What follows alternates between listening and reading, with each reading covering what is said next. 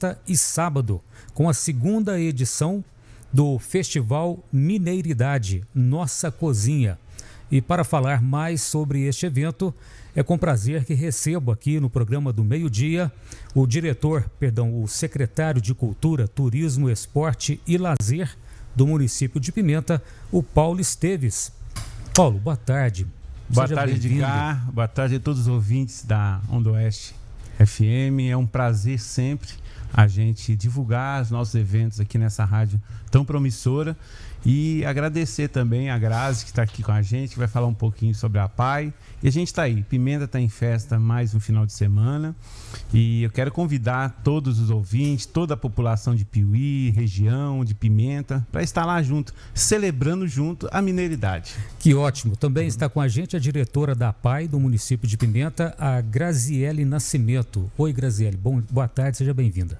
Obrigada, bom dia, Edgar, bom dia a todos da Onda, aos ouvintes, a quem estão nos assistindo. É um prazer imenso estar aqui hoje para falar para vocês do nosso querido festival, que está sendo preparado com muito carinho para atender a população de Pimenta, Piuí e região. Que ótimo. Paulo, fala para nós, já é a segunda edição. O ano passado foi a primeira, né?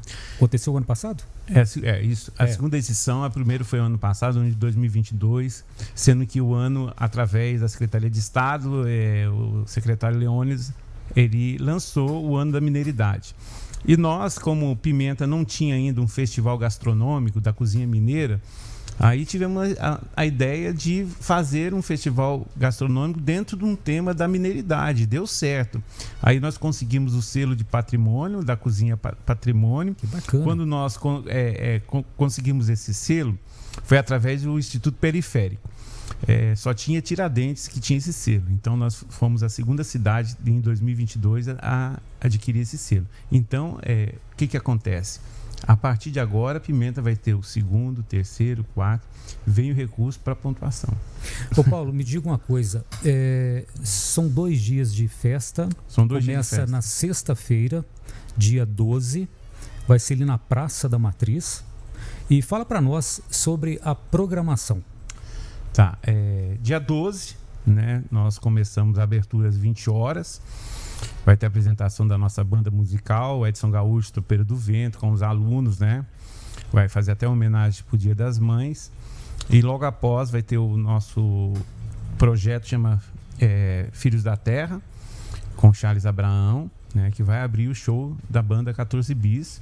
E logo após da banda 14 Bis é o, a banda Calhambex. Também é uma banda muito boa também. E a programação do dia 13 é, o projeto Filhos da, da, Terra inicia, né, abrindo o festival, e depois o, a dupla sertaneja Emílio Eduardo. Bacana, dois, dois shows de renome, né? Dois shows de renome. Bis, Isso. É um grupo aí conceituado, né? Que, é. como se diz, encantou em uma geração por muito tempo. Com certeza, tempo. com certeza. Né? Eu sou fã, sabe? Aí. E graças a Deus, é, quando começamos a, a, a, projetar esse festival na sua segunda edição, tivemos uma reunião com o prefeito, o prefeito abraçou muito a ideia de trazê-los. Então, ficou assim, um dia um lado mais pop, mais rock, né, mais popular, MPB, e outro dia o sertanejo mesmo, que é a cara de pimenta. Ótimo. E me diga uma coisa sobre a gastronomia. O que, que a população vai encontrar, os turistas vão encontrar lá em Pimenta em relação a pratos típicos? Eu sei que a gastronomia, a gastronomia farta, né? É, eu queria que a Grazi falasse isso, porque vai ficar tudo por conta da ah, Pai, da que Pai. inclusive são as melhores cozinheiras de pimenta. Legal. Lembrando que a praça de alimentação, toda a renda é da é praça de alimentação pai. será destinada é. para a Pai de Pimenta. É, é isso, Sim, Grazi? Isso mesmo, Edgar.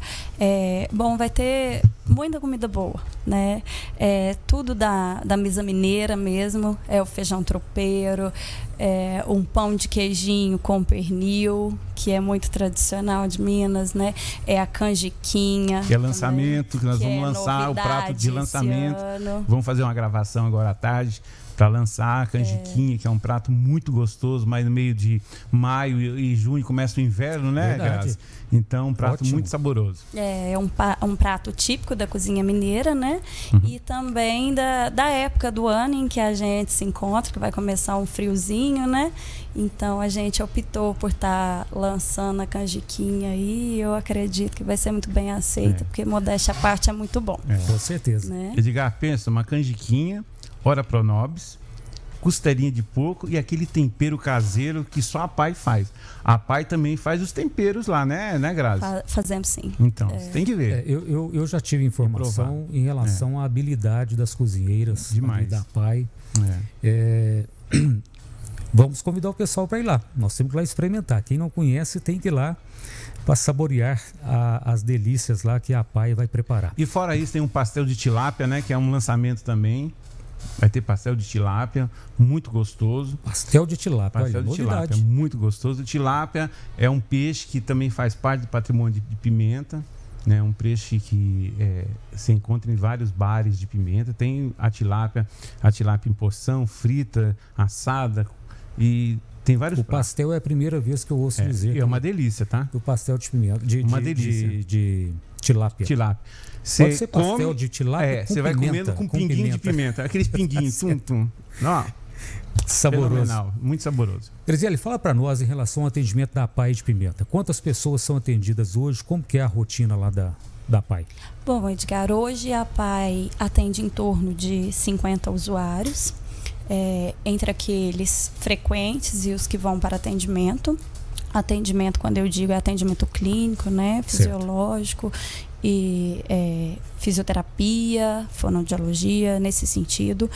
E a gente, assim, é, graças a Deus, tem o apoio da, da, prefeitura em si, mas mesmo assim a gente tem uma demanda que a gente precisa desses eventos para que a gente consiga, né, a dar continuidade aos Manutenção, nossos serviços. Né, do atendimento, Isso. Né? ter a continuidade desses serviços mesmo. Porque além é, da mão de obra, dos profissionais e tudo.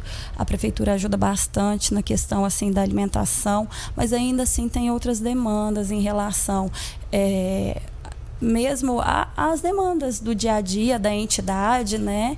É, documentação e, e tudo que a gente sabe que uma entidade precisa em relação à água, luz e, e etc. Então, assim, é, para que a gente consiga manter é, em dia, tudo certinho, a gente precisa dessa, desses eventos. Então, é, caiu como luva é, quando o Paulo nos convidou para participar no ano é. passado. Né? É, o ano passado já foi uma festa assim. Bem boa, grande e tal. Esse ano promete ser ainda maior e ainda melhor, até em função né, dos shows.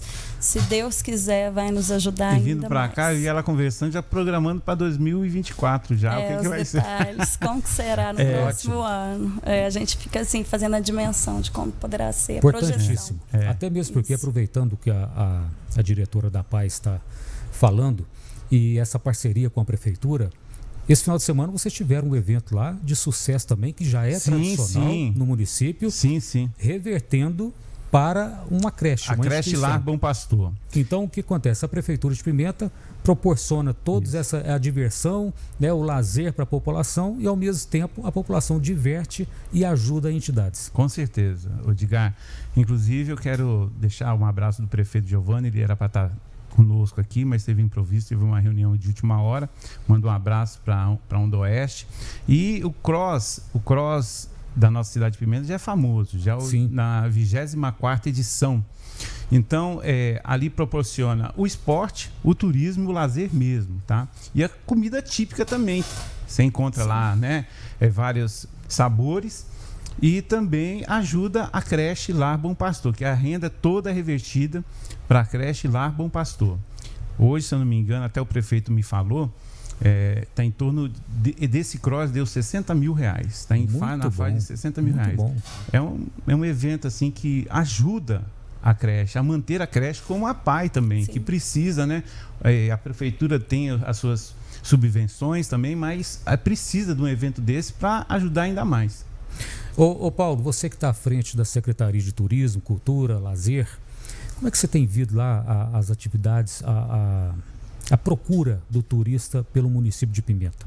A gente a, acompanha, né? Tem esses eventos culturais, é, tem a prainha lá que ficou ah. fantástica, né? E tem os atrativos naturais do município, próprios do município. Como que está lá a demanda? Isso, Paulo? Edgar, é, a gente está em fase de, de aprimoramento, né? E, e, e nós vamos lançar, eu creio que até o segundo semestre, o projeto Rotas. O projeto Rotas vai levar o turistas em todos os pontos de atrativo. Né? Vai ser um, um, um projeto fácil, através do QR Code. Né? Você passa o celular lá e manda o turista aonde que ele quiser, todos os atrativos, cachoeira, é, santuário, o que comer, o que fazer, é, etc, etc. O turista depende disso aí para chegar no município e estabelecer o que, que vai ser feito de roteiro, né? Nós, é, o complexo turístico de lazer que foi lançado, foi, foi inaugurado o ano passado, tá bombando. É uma praia artificial, né? Tem um quiosque, inclusive o quiosque é, vai ser, vai ter um chamamento público para arrendamento, né?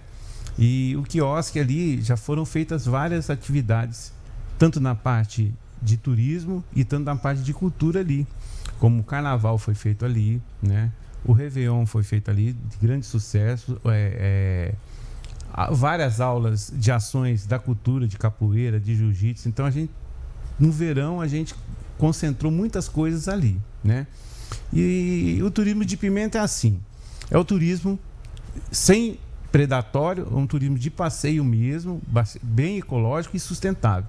Tem o Santilário, né? O Santilário que hoje é a menina dos olhos de pimenta, no nosso distrito turístico, né? Que tem está crescendo muito, né? Inclusive esse ano a gente tem um projeto para lá de revitalização, de sinalização que está magnífico também. E também tem a parte do turismo, que a gente fala o turismo esportivo, né? Que ajuda no esporte e no turismo, que é a Serra do Cruzeiro, né? Sim. A gente tem também é, tem um projeto muito bom para aquela área da Serra do Cruzeiro, para oficializar mesmo o esporte de aventura. E fora isso, tem a corrida rústica, tem o cross, né, que eu já te falei, a bike, né, que é muito assim frequentado, Pimenta é muito frequentado, pessoal que gosta de bike, né? E os passeios ecológicos também, pessoal que gosta de andar, andar no meio da serra, né? Visitar, tá de perto ali da natureza, né? Então isso é muito importante para nós. Ótimo. Ô Paulo, mais alguma informação é, sobre esse evento do final de semana que você acha importante? Pode ratificar o convite aí lógico, com a programação. Lógico.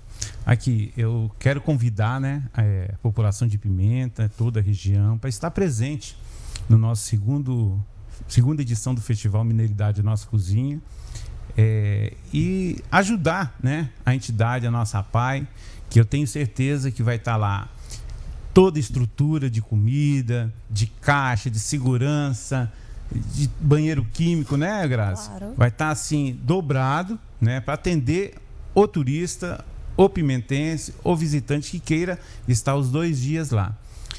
O evento é um evento de muita gente, né? São duas bandas bem de nome, constituadas, uma dupla e a banda, é, a dupla Emílio Eduardo e a banda é, 14, 14 bis. bis. E fora é, os artistas locais, né? locais, né? Então, eu quero convidar todas vocês, vocês, todos a todas, para estar tá participando com a gente do segundo Festival Mineiridade Nossa Cozinha. Pode ir que vocês vão gostar, vai ser um lugar bacana, um lugar de família, né? Os amigos, rever os amigos, né? Justamente. Rever os amigos. Confraternizar, né? Confraternizar juntos, celebrar junto a nossa mineiridade. É verdade. Então, assim, é, como destaque dos dois dias, é, na sexta-feira, a banda 14 Bis, 14 bis. em Pimenta. Em Pimenta, é. E no sábado, a dupla Emílio e Eduardo. Fica o convite, então, para você aí de Pimenta, de Piuí, de Capitólio, de toda a região, participar e prestigiar nossos amigos aqui de Pimenta. E o nosso próximo evento, posso falar? Pode falar. Expo Pimenta. Expo Pimenta, em junho. É, é, é final... 20, 29 a 2 de julho. Final de junho e início de julho. É, 29 a 2 de julho. É um evento também que é, é, é é cultural, né? Turístico, né? Tem a exposição de carro de bois, que, que é uma semana antes, juntamente com a cavalgada. É patrimônio já inventariado. Que bom. Então a gente convida também toda a população. Graziele, muito obrigado por ter vindo aqui trazer essas informações. Nós desejamos que seja um sucesso o evento e que a PAI possa conseguir arrecadar fundos aí, numa quantidade significativa, para continuar a manutenção e esse trabalho belíssimo que vocês fazem. Leva meu abraço e cumprimento a todos lá da PAI. Obrigada, Edgar, em nome da PAI de Pimenta. Eu agradeço o espaço para a gente estar tá, né, divulgando o nosso festival aqui hoje e reforçar né, o convite é. do Paulo para que toda a população de Pimenta, Piuí e região possam nos prestigiar, porque a festa esse ano se promete, é. ser, promete ser ainda maior e melhor que o ano passado. Né? É uma festa aberta ao público, tá? É uma festa isso, de família, isso. né? Então vamos todo mundo lá prestigiar e ser solidário isso. também com a PAI, porque a, além de estar tá prestigiando uma festa bacana, com shows muito bacanas, ainda vai estar tá ajudando a PAI de Pimenta. Então, em nome da PAI de Pimenta, nosso muito obrigada. Ótimo. Paulo, muito obrigado mais uma vez. Pode complementar. Posso completar? Sim. É, a, o evento começa às 8 horas, o show previsto do 14 bis é às 10 horas da noite do dia 12 e dia 13 o, ah, o evento começa às 8 horas e o show do Emílio Eduardo às 23h30. Entrada franca. Entrada franca, livre, praça, praça, da Matriz, pública, linda, patrimônio cultural, público, né? perto da lagoa, aberto ao público, show de bola, convido todos vocês. Parabéns pelo seu trabalho. Obrigado, tá? Edgar. Muito obrigado por ter vindo aqui trazer as informações. Isso. Desejo sucesso para você também. Obrigado. Leva um abraço ao nosso prefeito Giovanni lá. Sim. E a Onda Oeste está à disposição para informar e divulgar os eventos, acontecimentos. Coisa boa. Muito obrigado